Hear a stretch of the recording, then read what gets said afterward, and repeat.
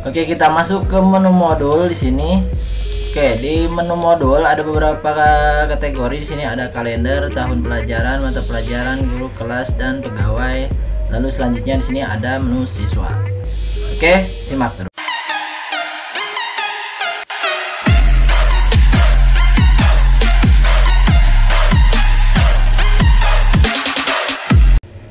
Dan ya, Oke teman-teman dan di kesempatan kali ini kita akan bahas tentang sistem informasi sekolah ya teman-teman. Oke langsung saja. Mungkin nanti di dalamnya ada kelas, ada guru, jadwal mata pelajaran, uh, ujian online, e-learning, CBT dan lain sebagainya ya. Oke teman-teman dan silahkan teman-teman perhatikan sampai beres videonya agar teman-teman tidak terjadi kendala saat proses pasang codingan ya setting-setting codingan yang lain dan saat proses teman-teman instalasi. Oke, langsung saja di sini saya akan review terlebih dahulu dari codingannya sendiri, teman-teman ya. Di nah, untuk nama codingannya sendiri di sini saya kasih nama dengan sistem informasi sekolah atau saya singkat dengan SIM sekolah ya.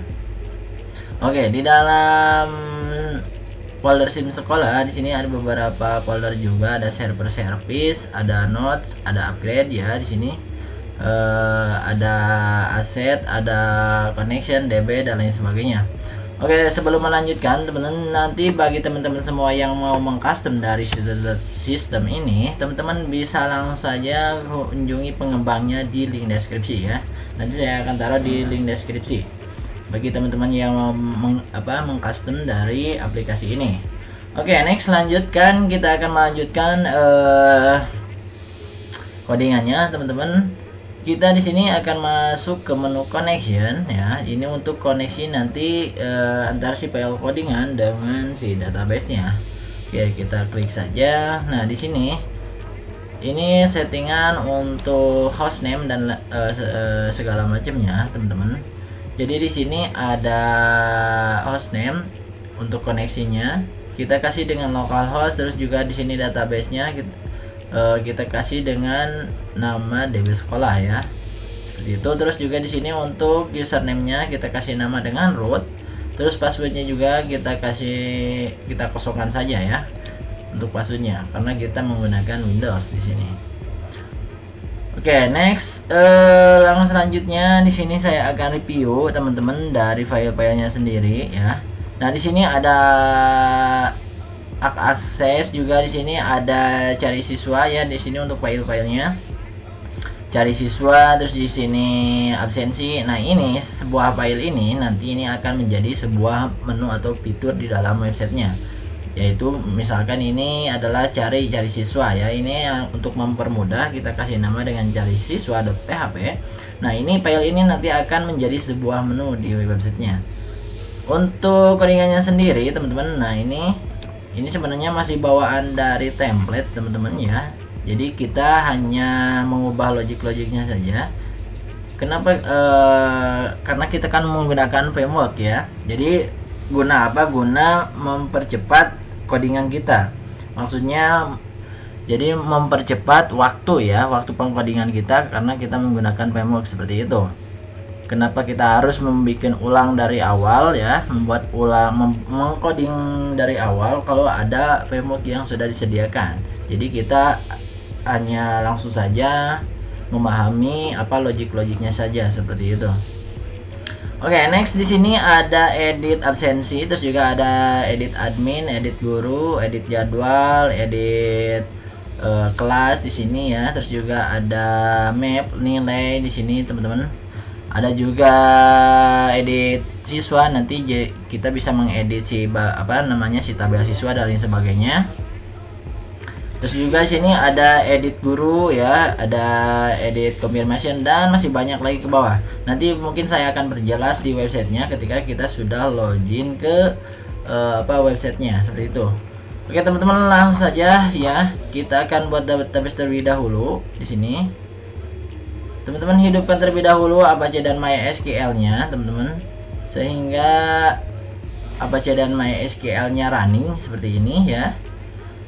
Untuk versi examnya sendiri teman-teman di sini samakan. Ini harus kita menggunakan PHP 5 ya teman-teman.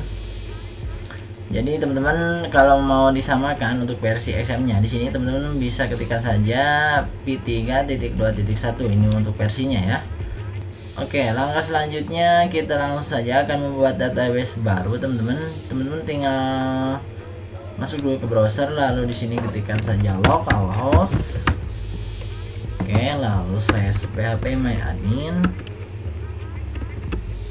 lalu kita klik enter. Tunggu kita hingga dibawa ke halaman PHP My Admin.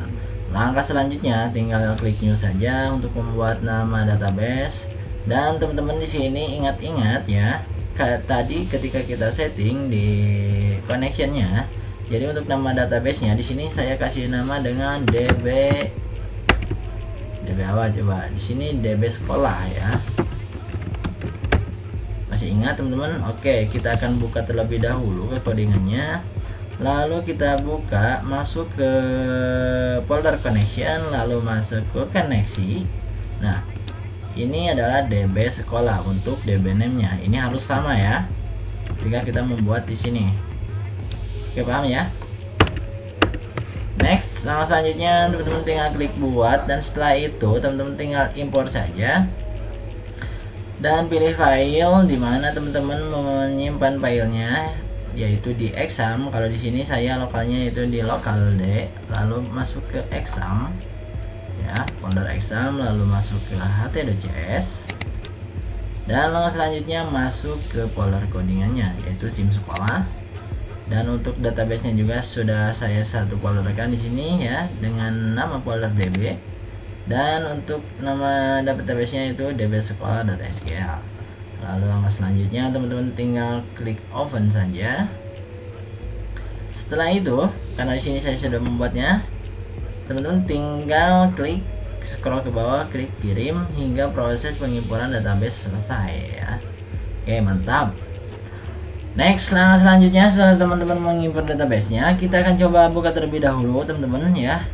Karena di sini saya sudah membuatnya tadi dengan nama yaitu DB sekolah. Kita buka saja. Nah ini untuk tabel-tabelnya ini lumayan kompleks ya teman-teman karena emang banyak sekali ini lebih ke sistem bukan lebih ke sistem emang ini sistem informasi sekolah jadi uh, kalau kita namai dengan sistem itu akan lebih kompleks ya Sini ada absensi, ada admin, ada guru, hari, jadwal, kalender, kelas, mapel, nilai, pegawai, foto, siswa, tahun, view dan user ya, masih banyak ini. Oke, okay, next, langsung selanjutnya langsung saja kita akan coba compile, teman-teman. Untuk file codingannya, teman-teman di sini ketikkan saja localhost lalu slash oke, okay, nama folder project codingan yaitu yang ini ya. Sim sekolah kita rename saja. Oke di sini teman-teman tinggal klik kanan lalu rename kita kontrol C kembali lagi ke sini. Pastikan saja di sini sehingga menjadi localhost sim sekolah. Oke lalu kita klik enter Oke gengs. Dan kita akan dibawa ke halaman loginnya untuk loginnya sendiri di sini saya untuk mempermudah bagi teman-teman semua yaitu dengan username admin dan password admin. Kita ketikkan saja. Untuk passwordnya juga admin. Kita pastikan lalu kita klik login. Oke gengs, dan kita sudah masuk ke halaman dashboard adminnya, teman-teman. Nah ini, selamat datang Bayu Tutor ya di sistem informasi sekolah. Oke gengs, di sini ada beberapa menu, ada menu home, master, modul, sistem laporan ya. Ini sangat banyak. Kita akan di sini saya akan review atau saya akan demokan dari menu-menunya sendiri, teman-teman apakah di sini kegunaannya seperti apa? Gunanya untuk apa? Ada menu apa saja? Oke langsung saja. Di sini kita akan masuk ke menu master. Di sini ada jadwal nilai absensi ya. Kita akan masuk ke jadwal nah di sini kita akan bisa inputkan jadwal untuk si siswa nantinya. Tuh misalkan ini tahun pelajaran. Oke kita misalkan 2013 ini contoh saja ya genap. Misalkan untuk kelasnya misalkan kelas ini ya. Oke lalu kita cari jadwalnya. Atau kita bisa tambahkan jadwal baru di sini karena jadwalnya belum ada ya. Kita tambahkan jadwal. Nah di sini tahunnya misalkan ini terus juga kelasnya ini ya dua Indonesia. Misalkan mata pelajarannya apa? Matematika ini karena belum kita inputkan juga ya untuk mata pelajarannya juga teman-teman belum kita inputkan semua. Ini nanti bisa disesuaikan dengan kebutuhan teman-teman. Kita itu klik itu saja. Misalkan gurunya di sini ya lupa misalkan harinya misalkan hari Senin misalkan jamnya jam 9 atau misalkan dua jam pelajaran jam 10 ya oke jam 10.00 oke kita klik simpan jadwal Oke, dan barusan kita sudah menginputkan ya, seperti itu. Nanti akan masuk di menu jadwal. Oke, next. Langsung saja kita akan masuk ke menu nilai di sini ya. Untuk logiknya sendiri, teman-teman menu nilai di sini masih tetap sama ya. Nanti di sini ada beberapa tabel tahun, kelas, nis, nama siswa, kode mata pelajaran, guru, nilai harian, nilai tugas, nilai UTS, nilai UAS. Ini yang sebenarnya lebih kompleks ya daftar nilai ya ini untuk titelnya sendiri di sini teman-teman jadi ketika kita mengcoding juga kenapa ini ada di sini ya teman-teman jadi ini kalau di codingnya yaitu kita menggunakan title ya. Kalau misalkan di HTML ya tetap saja ya. Kita menggunakan title dan ditutup dengan slash uh, title. Jadi ini title itu adalah judul ya teman-teman. Oke, dari judulnya sendiri sini adalah daftar nilai. Oke, di dalam di daftar nilai di sini kita juga bisa menambahkan tambah nilai ya. Misalkan kita akan menambahkan nilai. Oke, kita klik tambah nilai. Langkah selanjutnya di sini kita inputkan saja sesuai dengan kebutuhan. Misalkan nama siswanya di sini ya. Terus juga mata pelajarannya apa? Lalu nilai hariannya misalkan 8 ya. Oke. Kita tab saja lalu di sini misalkan 9 dan di sini misalkan 100 eh, 10 ya karena ini angkanya kecil. Oke nilai uasnya misalkan 9 kita klik simpan data. Ini akan tersimpan ya. Oke kita kembali lagi ke menu nilai. Nah, nanti kita bisa mengeditnya di sini. Kalau misalkan eh, apa namanya kita mau merubah nilainya. Seperti itu ya. Oke next langsung saja kita akan masuk ke menu absensi. Ini ada absensinya juga teman-teman. Cuman masih manual Belum kita koneksikan dengan QR code ya teman-teman. Ini lebih baiknya nanti ketika kita akan koneksikan dengan QR code ya. Itu lebih bagus. Tapi di sini masih manual teman-teman Jadi harus diinputkan oleh si admin. Oke di sini ada titlenya absensi siswa terus tahunnya kelasnya ya. Kita juga bisa menambahkan di sini. Oke okay, next. Langsung selanjutnya kita akan masuk ke modul terlebih dahulu teman-teman. Di menu modul di sini ada kalender tahun pelajaran mata pelajaran guru kelas pegawai siswa. Kita masuk ke kalender. Nah ini untuk kalendernya ada beberapa tabel tahun pelajaran mulai selesai keterangan edit dan hapus Next, kita akan tahun pelajarannya. Mata pelajaran sini sebenarnya ini bisa kita inputkan juga. Oke, kita langsung saja ke tahun pelajaran. Nah, ini untuk tahun pelajarannya bisa kita tambahkan sesuai kebutuhan ya. Nah, untuk titelnya adalah tahun pelajaran. Di sini untuk tabelnya ada tahun, semester, non apa? non aktif, masih aktif atau e, orangnya masih aktif ataupun e, sudah tidak aktif seperti itu ya. Next, kita akan masuk ke mata pelajaran. Nah, jadi kita menginputkan mata pelajaran di sini, teman-teman, karena tadi e, sebagai contoh baru dua bahasa Indonesia dan matematika ya. Kalau misalkan teman-teman mau menambahkan mata pelajaran pelajaran di sini teman-teman tinggal tambahkan saja. Misalkan bahasa Indonesia, matematika, terus juga IPS, IPA, sains dan lain sebagainya ya. Kita klik tambah, lalu teman-teman di sini kasih kodenya ya di sini mata pelajarannya teman-teman tinggal kasih ya. Di sini untuk keterangannya aktif atau tidak aktif. Lalu teman-teman tinggal klik simpan saja. Seperti itu. Mudah bukan? Next, di sini menu guru, kelas, pegawai, siswa ya. Ini ketiga-tiganya adalah Viva, adalah orang ya, teman-teman. Jadi kita bisa menginputkan di sini guru, kelas. Oh, sorry. Mungkin hanya kelas saja ya, teman-teman yang beda tadi. Berarti ada dua di sini ada guru, pegawai dan siswa nah ini yang kelas ini bukan Ayo kita klik saja di eh, menu guru di sini untuk NIP nama tempat lahir tanggal lahir jenis kelamin alamat agama status ya Oke, okay, next langsung saja kita akan masuk ke menu kelas di sini. Nah, ini untuk menu kelasnya kode nama kelas, wali kelasnya siapa, terus uh, statusnya aktif ataupun tidak aktif ya. Jadi kita inputkan di sini sebanyak-banyaknya sesuai dengan kebutuhan. Next, kita akan masuk ke pegawai sini. Nah, ini untuk pegawainya nama, tempat tanggal lahir, jenis kelamin, alamat, agama, status juga. Terus next di sini ada siswa ya.